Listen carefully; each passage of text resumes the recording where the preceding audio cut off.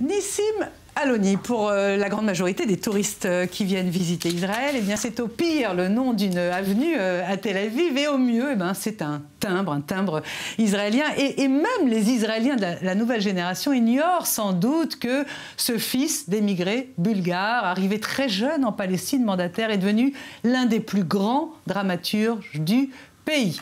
Euh, bonjour Doron Gerassi, merci beaucoup d'être avec nous. Alors vous, vous avez consacré justement un documentaire à Nissim Aloni, un documentaire qui va être projeté, qui est projeté au Festival du film israélien à Paris au cinéma et c'est Parnassia, une très très bonne euh, programmation.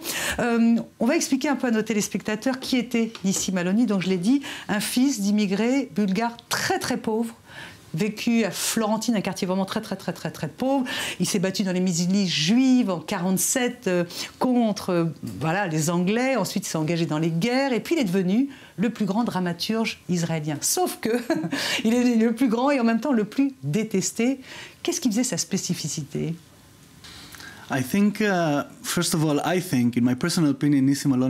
Tout d'abord, je dois dire que pour moi, Nissim Aloni est l'un des plus grands dramaturges d'Israël, uh, avec Anor Levin.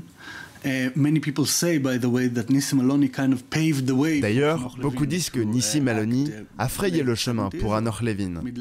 Je pense que Nissim Aloni est apprécié parce qu'il apporte quelque chose de tellement unique et de différent au théâtre israélien.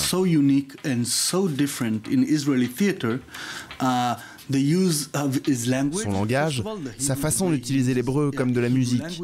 Quand on entend des acteurs jouer ses textes, c'est comme écouter de la musique.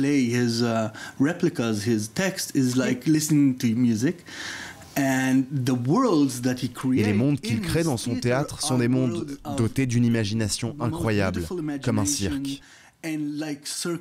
Alors uh, justement, on, va en parler de son obsession pour les rois et pour les reines, mais je voudrais juste qu'on revienne sur son langage. Vous pouvez nous donner des exemples? Eh bien, c'est très difficile. en hébreu.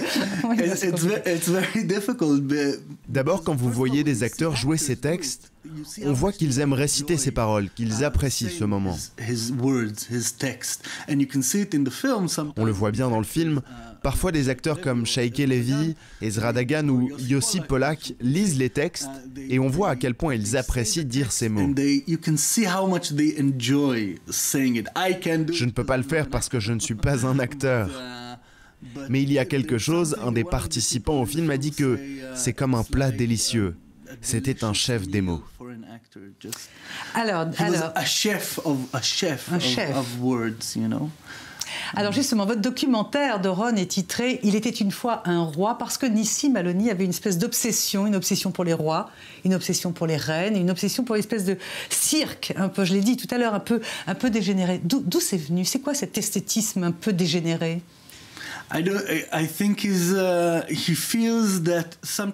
Je pense qu'il ressentait que parfois dans ses pièces, il y a des personnages torturés.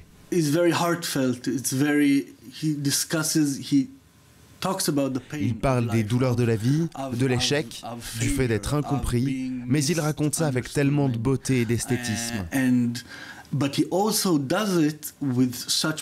C'est un peu comme un œil qui pleure et l'autre qui sourit. L'histoire est triste, mais par exemple, il a écrit une histoire sur Napoléon. Note Napoléon à nous Napoléon, yeah, exactly, which uh, he comes back from the dead. Oui, exactement, Napoléon. Il revient de l'au-delà après sa mort et un tueur à gage a pour mission de l'assassiner.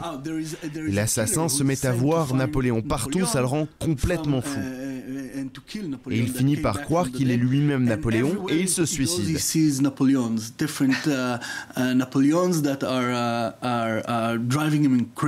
Donc c'est une histoire plutôt tragique, mais c'est complètement absurde. Et raconté avec le sourire, avec des feux d'artifice, des ballons. Il a son propre vocabulaire pour expliquer comment le théâtre devrait être selon lui.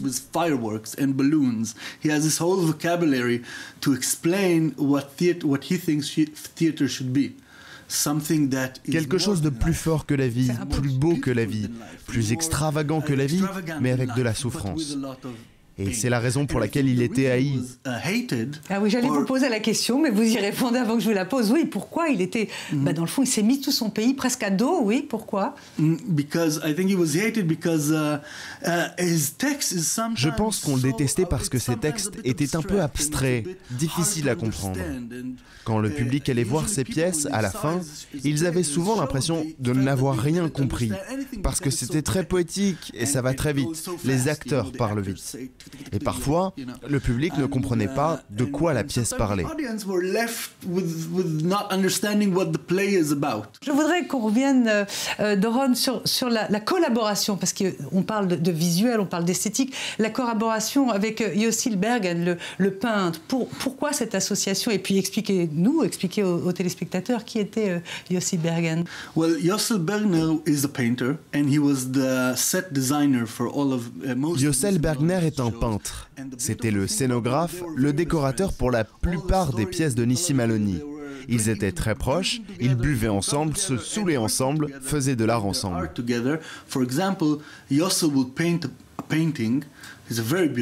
Par exemple, Yossel a peint une toile d'un chasseur de papillons et d'une mariée. Nissi Maloney l'a vue et a adoré, puis il a écrit une pièce à partir de cette peinture. Et après cette pièce, Yossel a continué de peindre ses personnages, et donc ils ont continué ce dialogue. Yossel a peint des rois et Nissim utilisait ses personnages, les rois, les reines dans ses pièces. C'était un dialogue sans fin. Dans le film, j'ai essayé... Vous savez, c'est très difficile de filmer du théâtre. Il est très difficile de transmettre à l'écran la magie que l'on ressent en regardant une pièce de théâtre.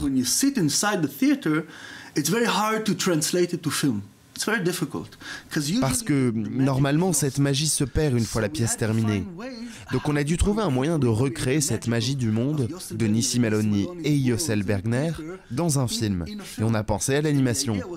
On a choisi d'animer les peintures originales de Yossel Bergner. Oui, je crois que c'est une, belle réussite de le projeter comme ça aux téléspectateurs français pour ce festival. Je crois qu'ils vont comprendre cet esprit, l'esprit de ce dramaturge Nissim Aloni. Juste une dernière question. Pourquoi il est mort en 98, Nissim Aloni Pourquoi faire un documentaire aujourd'hui sur lui? C'était quoi pour le, remettre au goût du jour? Ça change de raconter les histoires d'un dramaturge qui ne vit pas dans l'Israël d'aujourd'hui. Il avait une image plus grande. Les artistes, aujourd'hui en Israël, se focalisent sur ce qui se passe ici et maintenant.